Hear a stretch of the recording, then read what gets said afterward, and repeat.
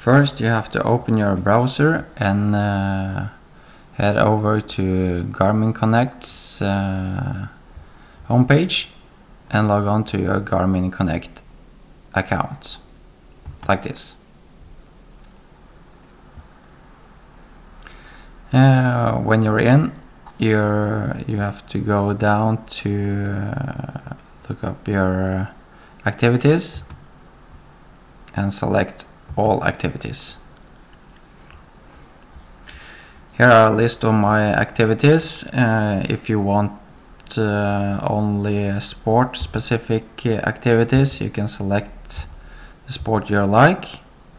Uh, here I will select all my activities and uh, you have to scroll down and select or make visible all the activities that you want to export to Excel. I will scroll down all the way so I have so I can use all my activities from this year. So I have to make visible all the activities for January until the 1st of January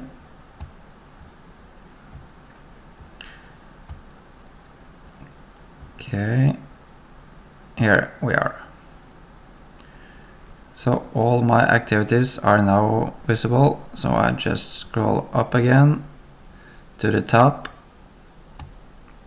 And I go over here to the menu that says export to CSV then you can see the file is downloaded here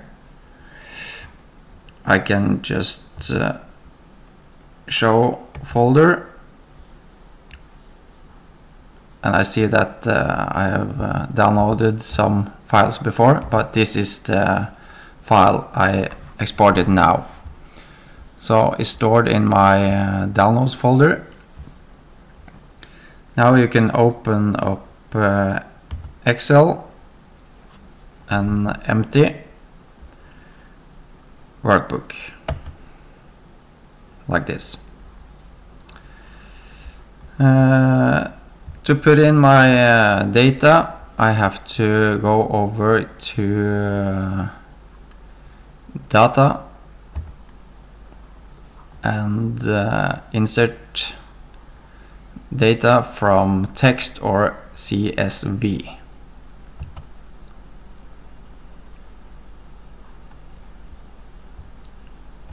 I have to go to my download folder and select my exported file and press import.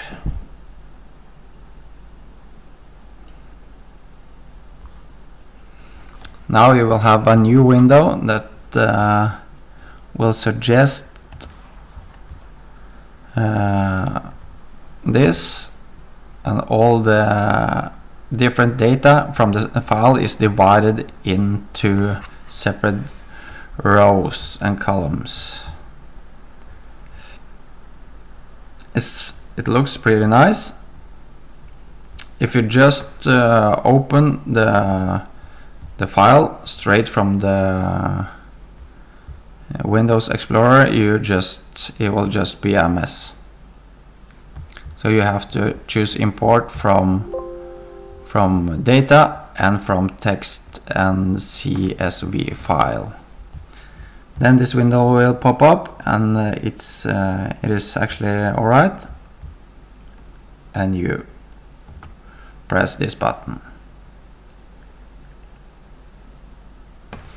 Now all the data from the file is loaded and you can scroll down and you see that all activities from uh, today and back to uh, the 1st of January even from December last year is also loaded.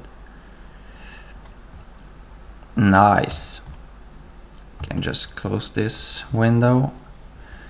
Uh, now you can uh, choose which data you actually want to have in your your Excel file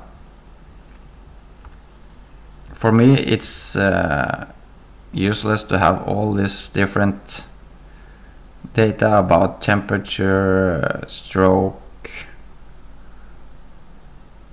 interval, best lap, number of laps and all this stuff. I actually just want to have uh, activity type, date, uh, title, distance and time. For me that's the most important uh, data to have. So I can just uh, select this. If I want to delete this, I click delete. Now it's gone. Uh, colors I don't want to have. I select the column and delete. And also the rest of this I just want to delete. So I do like this, select it and click delete.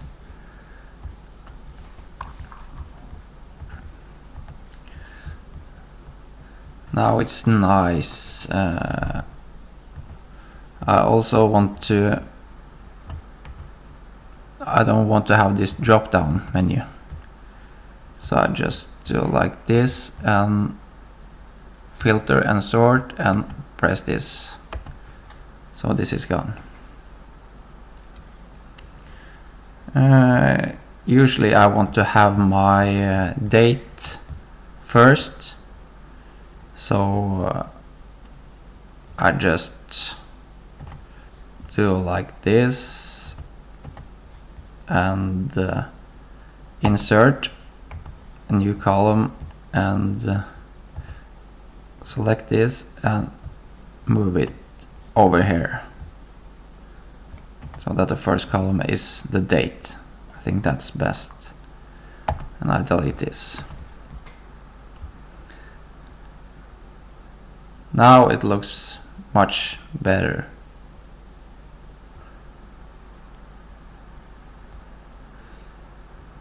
So you can just uh, choose uh, whatever you like, uh, which uh, data you like and uh, so on. And you will actually have a pretty nice workout diary for your own. Okay, thank you, that's all.